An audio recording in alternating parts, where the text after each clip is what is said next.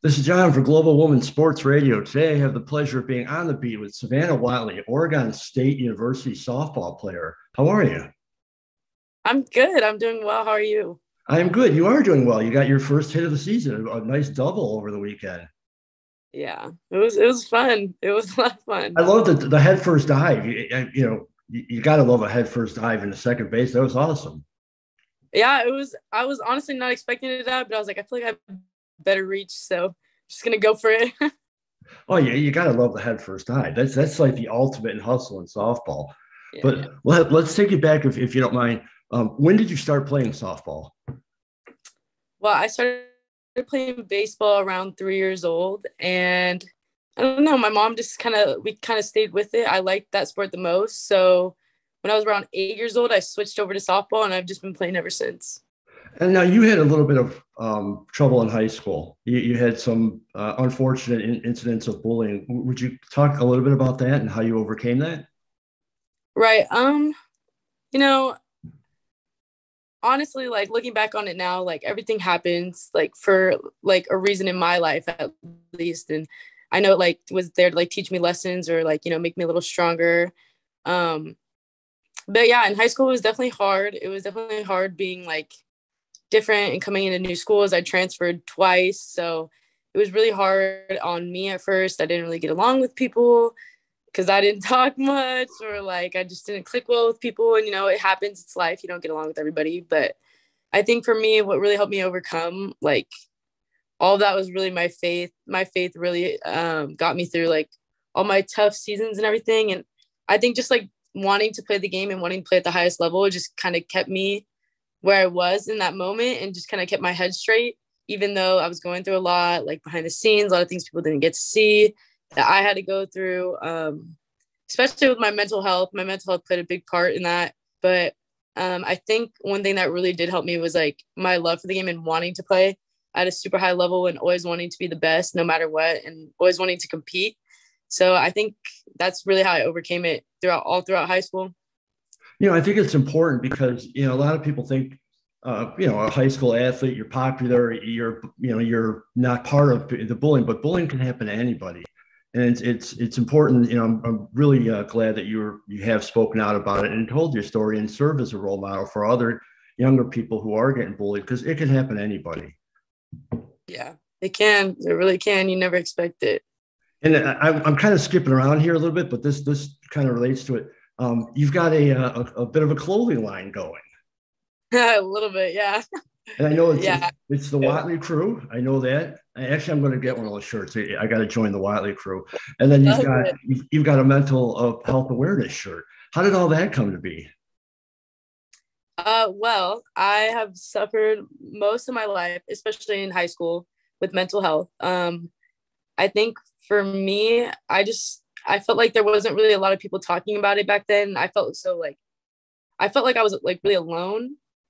And I wasn't I wasn't really like understanding why, you know, I felt that way or like nobody was saying anything, but I was it's become such a prominent thing now, like especially with COVID and not being able to play and not being able to see our families, like now people are starting to speak out about it. And I was like, well, for me, I want to be able to share my story and be able to reach other people that felt just like me throughout high school felt like me throughout college. I'm still going through it. I'm not perfect. Um, but yeah, I started uh, my brand uh, enough um, because no matter who you are, no matter what you're going through, like you are enough. You're worth it. You're worth being here. Your life is worth living. And I think for me, that's where I struggled a lot too. I just never felt like I was enough for anything. I felt like I was never good enough in softball. I wasn't good enough for my grades. And then came to a point where I was just like, I just feel like I'm done with everything. I don't really want to be, I don't want to, I don't do this anymore. You know, it got really hard and I just had to keep reminding myself like I am enough. And I think when I found my like identity really in Christ, like he kept telling me like, you are enough. Like no matter what you do, you are enough. So that's why I started my brand, enough. No, I love, I love it. I love the message. And, you know, here's a little secret you know, I'm a lot older than you, and I still struggle with the same same type of feelings. But it's it's it's awesome that you are addressing it now at such a young age and are, are put, pushing through. And it's great that you have such a deep faith. Is is faith strong within your whole family? I would say it's strong within um, like my immediate family, my mom and my sister. um, I always grew up in Christian school and like or like Catholic. I went to a Catholic school here in public school, but I always grew up in a Christian school. I went to church, um, but it didn't really. It wasn't really like a like you know in my whole family. It's not really a big thing, but my mom has always like instilled in us that God's always been there for us, and you know I've seen it in my own life, like especially now being at Oregon State. Never expected to be at Oregon State never expected to be playing this year. Didn't expect honestly a lot, and God has just blessed me with so much. And I was like, there, this isn't God. I don't know what is. Like it's it's been insane, and it's so cool to see how He works. No, why do you say you didn't expect to be playing this year? I had like a few things go on in beginning of the year. Um, I had a few talks with my coaches. Had to do with mental health. Had to do my health. Had to do with a few, like a few other things that go on. You know, obviously behind the scenes. But um, I expected to like, you know, kind of do the bare minimum. I didn't really expect to like come in and play. I, that's why I, like when my I was hit, they put me in to hit. I was like, oh my goodness, I wasn't expecting it. I was so I was so excited, and I remember like my mom came into town last week, and we just like prayed about it. She was here while my team was gone, but I was at home and we are just praying about it. And I was like, God, you know, I really want to play, but you know, your will in my life be done. Like, not not what I want, what you want, and whatever you have for me, like I'll take. And like this weekend when I got called hit, I was like, I was shocked. Like I was beyond shocked, but I was I felt so like excited and blessed to even be in that situation. And was your mom at the game or had she left by then? Uh yeah, she was at the game. Awesome. she was definitely the only person. I can't hear a lot of people or anything really. If I'm getting like yelled at by people, you know, this and that. Even my coaches, like I was like, unfortunately, I don't really hear you guys. I'm sorry, but um, but my mom is always the voice like I can hear, and I know she was like going crazy. And the first time I got my career, like that was the first person I looked to. Like I should, I probably shouldn't have looked there, but that was the first person I looked to. Uh, just because my mom has been with me through like it all last year, high school, this year, everything. So no, actually, you answered one of my questions. I was going to ask you if, um, if when you're on the field, if you could actually hear the fans or or specific ones, but you answered that, and that is awesome. That's cool that you heard your mom, and it's it's awesome that she was able to see it.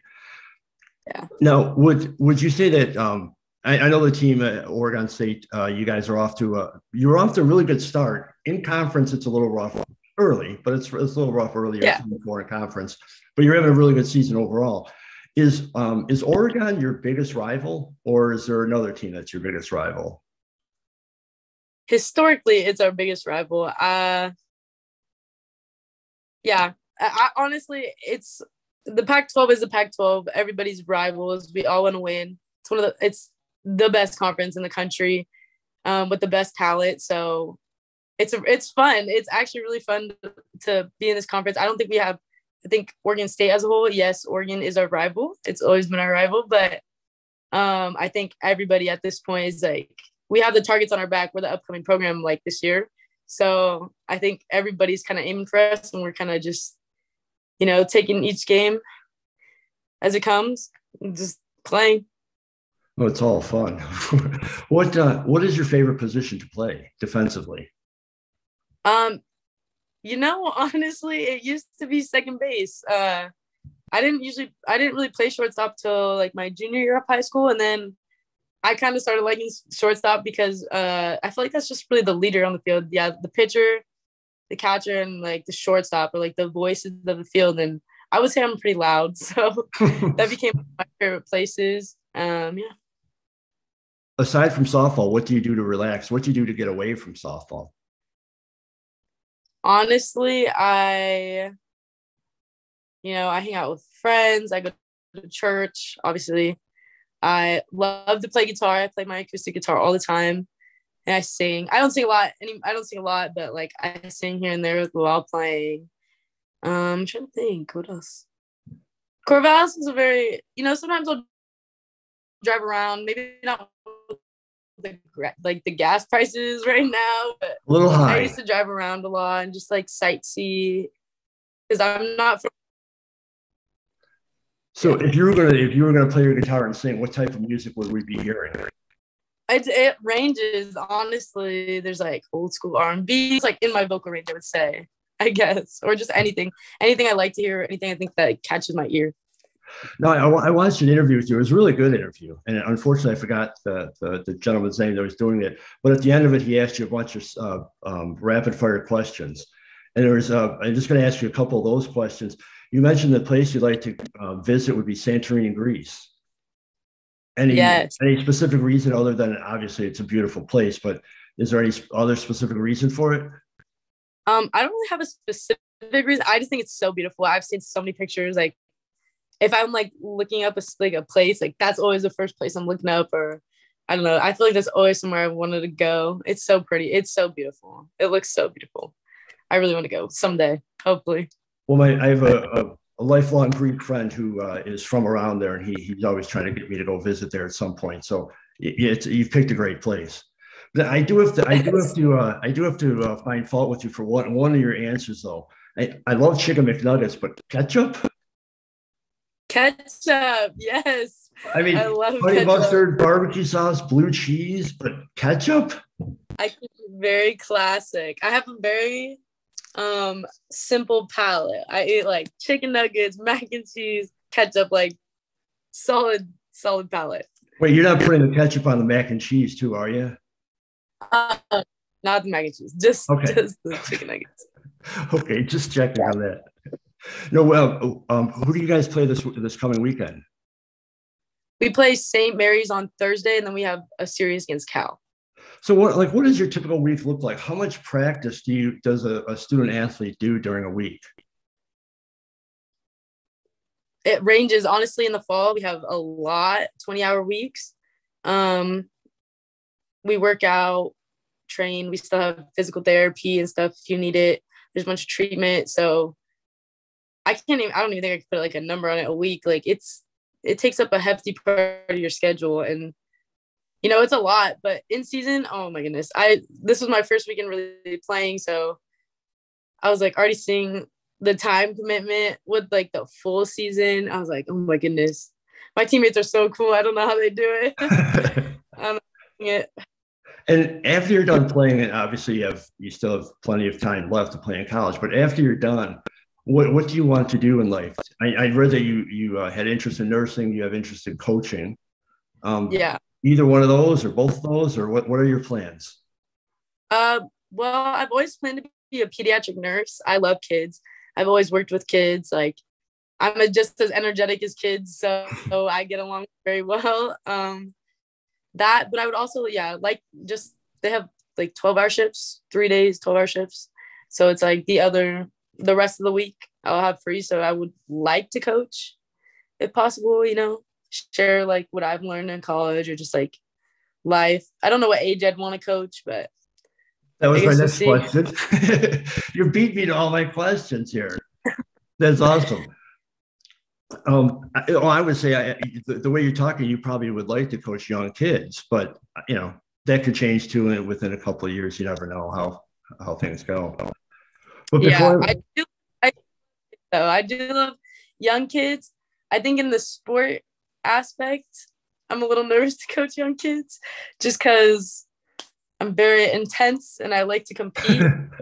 so I think I I have to coach a little bit old, maybe like 14, if not 14 to college at some, you know, okay. hopefully.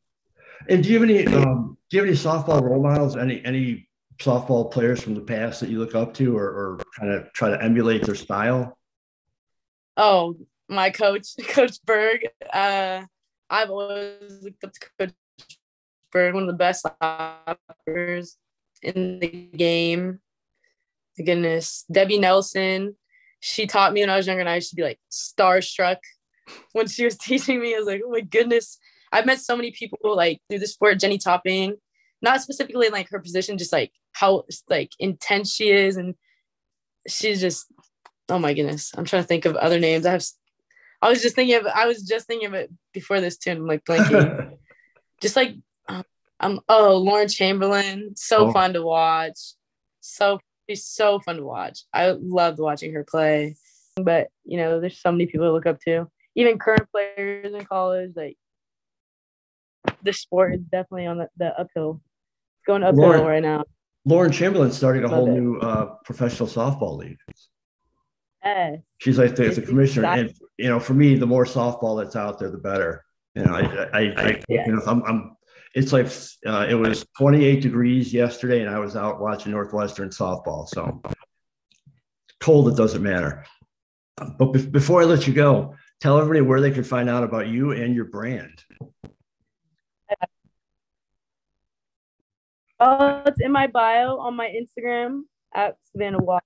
Um, you can go to our team website, our team roster. I should be on there. Um, yeah, it's where my brand's at. Um, I'll probably be posting more about it, especially now that I'm starting to play a little bit and everybody can start, you know, maybe representing the Whatley crew. Sure. Will there be more shirts coming out? More new designs? I've actually talked about uh like hats and different apparel, like things as we're going into summer. So we'll see, see how it goes. Different awesome. Well, you know, I'll be, I'll be, uh, I'll be jumping on the the Whatley crew as soon as, as soon as I'm done with here. I'll be ordering the shirt. So you, you got a new member awesome. of the crew. so man, I really appreciate your time. It was a lot of fun talking to you. We'll be following the uh, the Oregon State Beavers, and, and hopefully you guys will uh, have a great season. And and uh, hopefully uh, we'll see more of you running the bases and diving into other bases. Just don't break your fingers or anything. Yeah. no, no more, no injuries. Thank you, Savanah. You have a great night. I really appreciate your time. Thank you. Go Bees. Yeah, exactly. Go. Thanks. Bye bye.